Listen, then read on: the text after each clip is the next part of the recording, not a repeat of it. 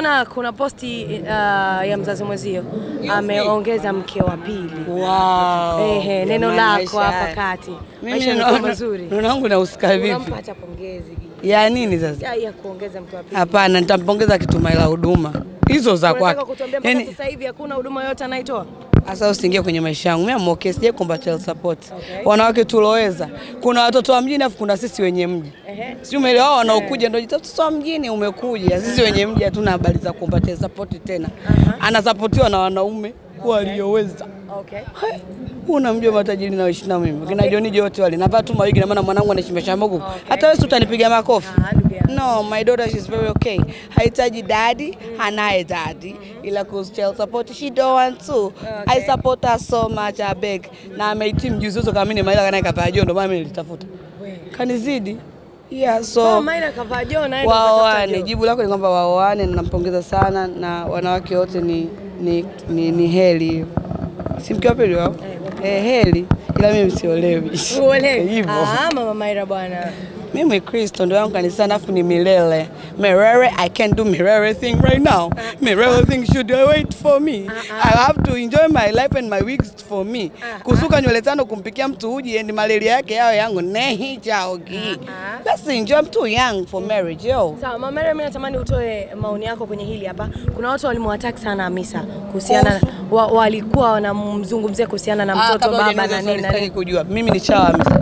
Hapana. Mimi ni umeniona mimi ushaniona Hamisa ni vipi? Mimi ni shoga yangu tu kama wasanii wengine. Okay. Ah, maisha ya mtu babu. Yaani kwa sababu ya wewe mwenyewe Sijui siri ya mama. yako. Mama ndo anamjua baba. Mimi mwenyewe mwanangu ana baba sita, na wote wanatuma huduma na uambii kitu, so you don't have question. 2022 umekuwa ni mwaka ambao kama ni wa bahati, kwa sababu tunafahamu aliyekuwa nani mzazi mwenzako ameamua kurejea kwenye game hivi sasa.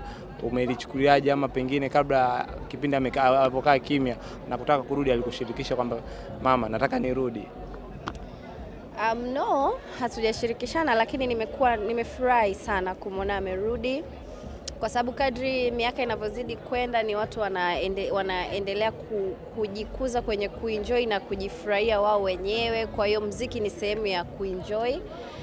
Kwa hiyo alete kazi watu tuenjoy, kwa sababu tunapenda kazi zake, tunaenjoy kusikiliza mziki wake na vile anafanya mziki mzuri. Kwa hiyo nimefurahi sana sana. Hivi mpaka hivi sasa bado mna mawasiliano, mnaongea, mnapiga stories, Yaani yule hatuwezi kuacha kuongea, hilo jibu nahisi linatosha. hamwezi kuacha kuongea? Tuna mtoto bro. Kwa hiyo mnaweza mambo mengine kurudi Aya, hayo hapana. pengine upokope sasa hivi ni kwamba hautajiki kwenda sehemu nyingine yoyote. Um, no, unajua mpaka nikaamua kumove on kwamba nilishindwa, naye mpaka aliamua kumove on kwamba tulishindwa, umenielewa? So kitu ukishashindwa ni mmeshindwa, yani hivyo.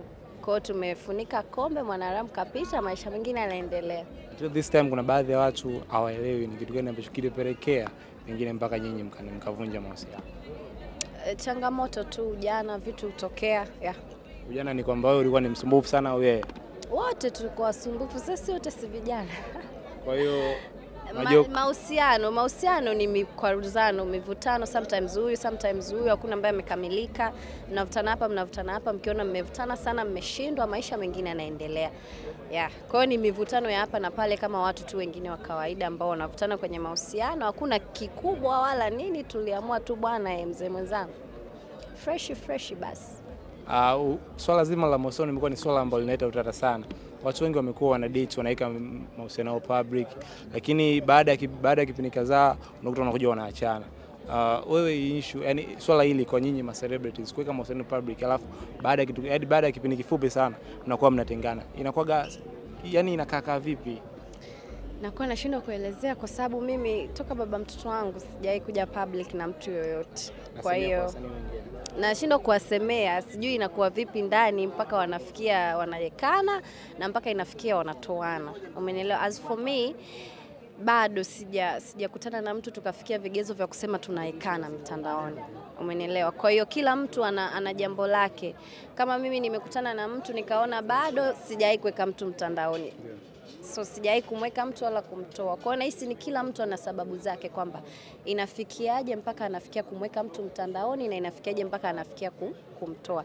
Sema kwa kuwa sisi ni maseleb tunaonekana, hiyo miezi miwili mitatu wametoa, lakini hata kina Mwajuma kina Alima huko nje wapo wanapostiana na watu siku mbili tatu, hivyo tu vile mahusiano yamekuwa na vitu vingi sasa hivi.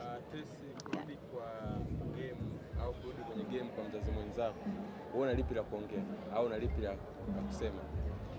kubwa naweza kusema ni kwamba nimefurahi sana na namwombea Mungu asiachie, akaze ngoma juu ya ngoma. Ya, hiko ndo kikubwa ambacho naweza kumwambia. Hii ngoma ambayo amefanya na Harmonize, labda umefanikiwa kuisikiliza?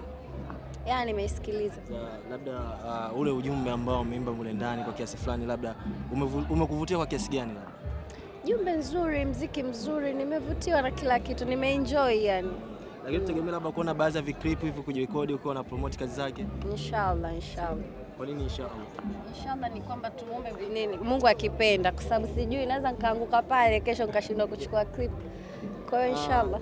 Kwa watu ambao wa- wa- wa- hawamfahamu Aslay, wanamjua tu kwa jina lake, labda tunataka kufahamu Aslay ni baba wa namna gani? Ah, Okay, Aslay ni baba bora. Aslay ni baba ambaye anajali mtoto wake, anaufahamu uwepo wa mtoto wake, hivyo ana hofu ya Mungu, pia anamwelekeza mtoto wake kwenye maadili ya Mwenyezi Mungu yeah.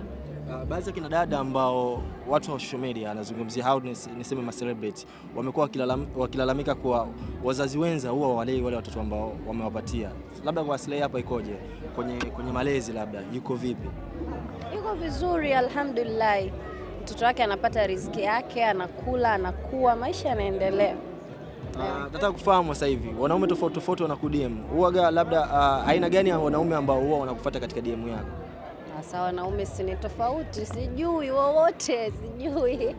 Wanaume ni wengi, siwezi jua huyu ni, ni wengi, yani wanaume, mwanaume ni mwanaume tu, wapo tofauti mastaa kwa baadhi fulani wanakusumbua mastaa kwa DM sasa hivi. Wapo we, yani wapo wanaume wa mastaa wa kawaida, it's normal. Mimi ni mtoto wa kike yeah. Na uoga labda DM wakija wanataka story gani? Kawaida washikaji, tunapiga story, tunasalimiana, ingine tunabadilishana mawazo, story ni nyingi. Baadhi ya wadada wenzako ambao mko katika piki tumeona wanaimba, labda nawe tutegemee kuona Ah, ndugu yangu sijui kuimba, nishasema hili swala, sitakuja niimbe, sina sauti ya kuimba, siwezi kuwa mwimbaji. ongea neno moja kuhusiana na hili sakata ambalo linaendelea hivi karibuni kuhusiana na huyu mtoto wa Hamisa Mobeto. No comment. Kwa nini? Havinihusu, hizo ni familia za watu bro. Kama mama unaweza No comment. Kama mama sina cha kuongea kwa sababu sina experience na hilo jambo, ila kama mama naomba heri, yani chochote kinachoendelea ikawe heri. Na vipi kuhusiana na wasanii ambao wanawapa wajawazito kina dada alafu wanakimbia? Kuna kipi cha kuzungumza? Wa, wasanii Eh, wapambane na shughuli zao. Unaona Juma Mafufu bwana amempatia mimba mashalafu afu kama kamtupa hivi. Mashallah. No comment, no comment my friend. Karima Story Live. Bonyeza hapa kusubscribe na bonyeza hapa kwenye alama ya kengele ili usipitwe na video mpya kila inapowekwa.